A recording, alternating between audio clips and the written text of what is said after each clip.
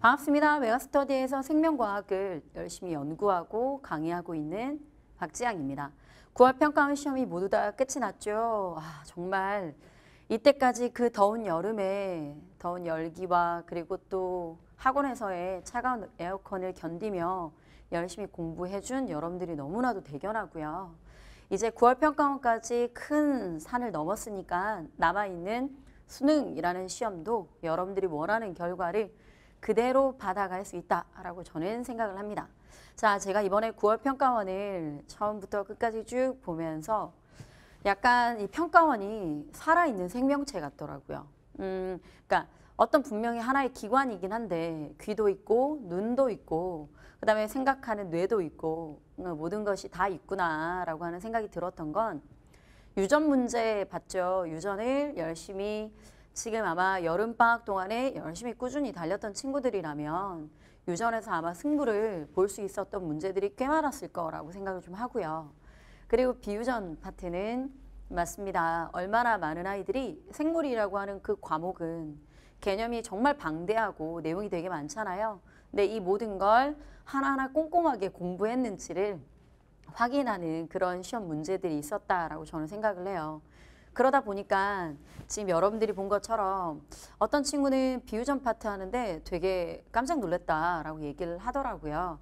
실제 구석구석에서도 나온 부분도 좀 있고 그리고 선생님이 이거 이거 나올 거다라고 얘기를 했는데 어, 나왔던 부분들도 좀 있고요. 여러분 수능이라고 하는 시험은 음, 약간 살아있는 생명체 같다라고 표현했던 이유 중에는 뭐였냐면요. 그냥 딱딱하게 굳어져 있지 않는다는 거예요. 신경계를 옛날에는 신경계를 어떤 방식으로 물어봤냐면 무릎에 있죠. 무릎. 무릎에 고무망치를 땅 하고 때려서 다리가 올라갈 때 그런 형태로 신경계를 물어봤던 문제가 어느 순간부터는 중추를 기준으로 반응기까지 막 뉴런을 열심히 여러 개 표현했던 그런 문제로 발전하더니 이제 드디어 자 올해 패턴에서는 선생님이 많은 강좌에서 얘기했던 것처럼 뇌신경이나 척수신경이라고 얘기하는 좀 더 지엽적으로 파고드는 그런 형태의 문제가 등장을 했고 호르몬 파트도 마찬가지다라고 얘기를 했었습니다. 자 이렇듯 항상 그 평가원도 마찬가지고요. 이거 똑같은 개념입니다. 똑같은 개념을 어떤 다양한 방식으로 여러분들한테 출제, 보여주느냐. 방식이 변하는 거지 그 안에 내용이 변하는 건 아니잖아요. 그래서 선생님과 함께 남아있는 두 달여 시간 동안에는요. 선생님도 열심히 이거 하나에 초점을 맞출 것 같아요. 올해는 어떤 방식으로 출제가 될 것인가 라고 얘기하는 이 방식에 대한 문제로 선생님이 정말 끊임없이 연구하고 여러분들한테 많은 양의 문제를 파이널이면 파이널 모의고사 형태로든 아니면 선생님이 다른 영상으로든 만나게 하도록 하겠습니다. 자 이제 선생님은 1번부터 모의고사를 쭉 들어가도록 할 건데요. 어, 올해 어, 9월 평가원은 음, 선생님이 생각했을 때는 풀이 속도가 좀 빨리빨리 진행되지 않을까라고 생각을 합니다. 첫 번째 1번 문제부터 한번 보도록 할게요. 자, 이 안에는 미토콘드리아, 그 다음에 리소좀, 세포막이 있다라고 얘기를 했죠. 세포의 소화를 담당하는 거 리소좀이 되고요.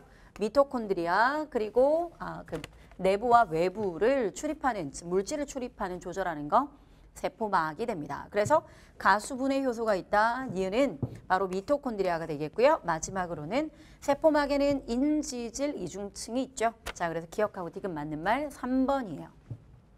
자, 많이 봤던 DNA가 되는 거고요. DNA 안에는 제 밑에 여기 뉴클레오타이드라고 얘기하는 단위체도 있습니다.